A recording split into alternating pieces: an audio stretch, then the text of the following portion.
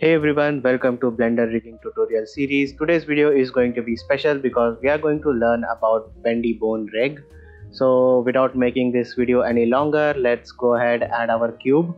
Now I will scale this cube on the z axis like this. Uh, I will also move it on the y. Now once this is done, I'll uh, apply rotation and scale. Never forget to apply your rotation and scales. Go ahead into the armature, add an armature um, now let's go ahead and make this in front. Let's go to the side view or any of the view that you want. Now this doesn't have to be perfect. You just need to have it on top like this okay? Now we will extrude it on the z again. So this will be like a control bone or a bendy bone.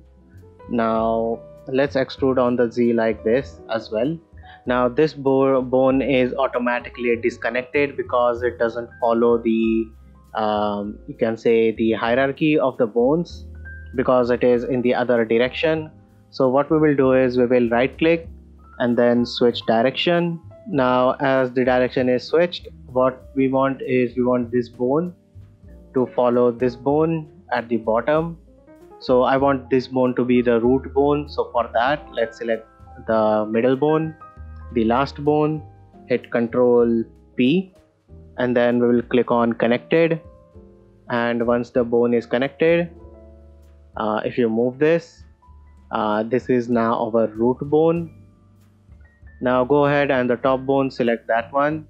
Hit alt P and then we will clear its parent because we want this bone to be disconnected. Next thing is we will uh, make this bone as a bendy bone. So change this to b-bone now usually in the previous versions of blender uh, you could just select uh, any of these uh, bones and hit ctrl alt s and scale them but now it doesn't work like that.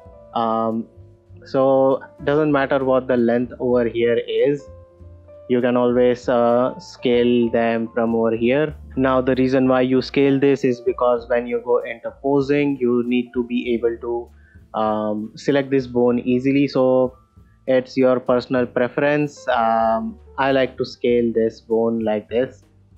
So I think I'll make this 0.2 now I'll select the bottom bone make this 0.2 uh, by the way we were in the bone properties uh, inside the bendy bones. Um, also the bendy bone itself uh, I can shrunk it down uh, because uh, it is kind of like similar to my cube. So I'll shrunk it down a little bit like this.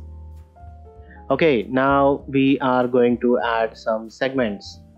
So the maximum segments that is allowed is 32 so I'll just keep it at 32 uh, even if you put some number like a bigger number like 40 it is still going to clamped at 32 now uh, before parenting our mesh to our uh, bone setup I don't want the this top bone and bottom bone to be like able to be control my mesh.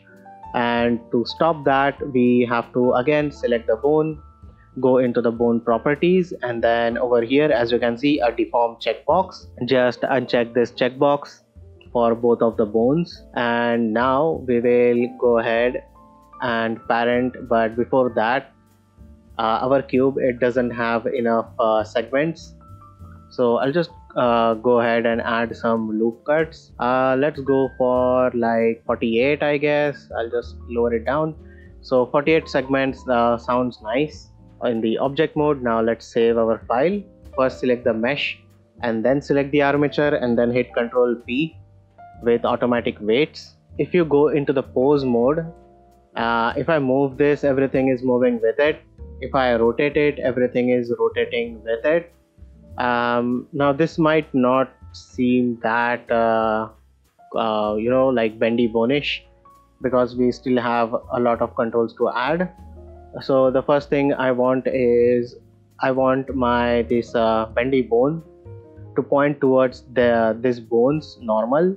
So the way we do that is before that actually let's name our bones because it is important. Whenever you are adding constraints to your bones or anything naming is really important. So let's call this top bone as our top bone uh, and let's call this one as our bottom bone okay? And this is our bendy bone. So bendy.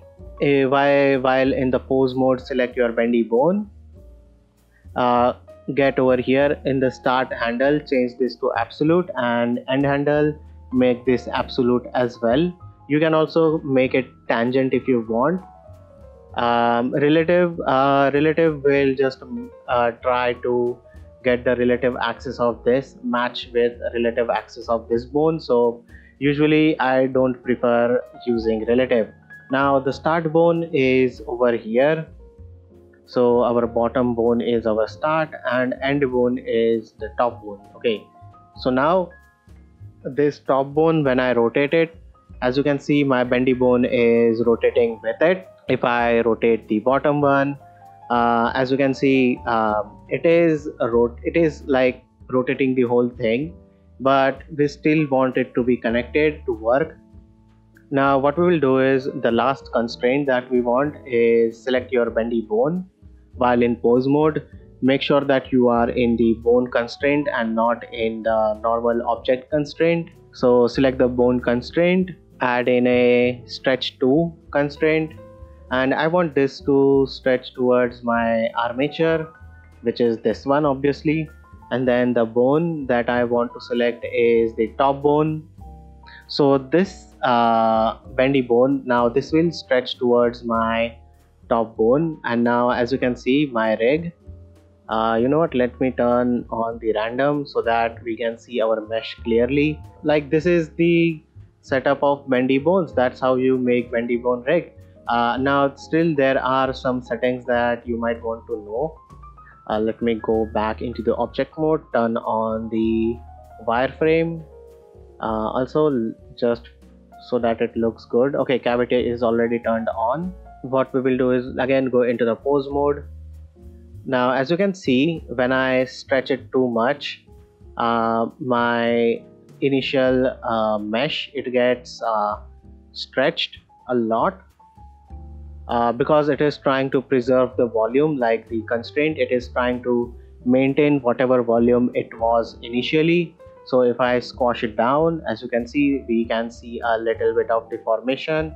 Uh, not little bit like way too much deformation in the original mesh itself. You can stop this deformation uh, just by clicking on none. Or if you just want it on the x-axis or the z-axis you can click it. Uh, you can specify the minimum and maximum volume over here. So it will try to maintain that um, original length um, let's not change this. Um, if you want to change it you can. Everything is done. Um, okay so now if I move it you'll see that it is not um, scaling my initial mesh itself. And I can now rotate this part and also I can now rotate this part as well. And if I move it you'll see that this is a really powerful rig uh, the bendy bone rig is uh, really very powerful when you have to animate something like curves or a worm like body. Uh, by the way I think I still forgot to um, show you all something. So if you select your bendy bone and then go inside over the bendy bone section in the bone properties uh, you can scale the in and outs like this and it will also scale the mesh uh, so not a lot of uh, tutorials show this.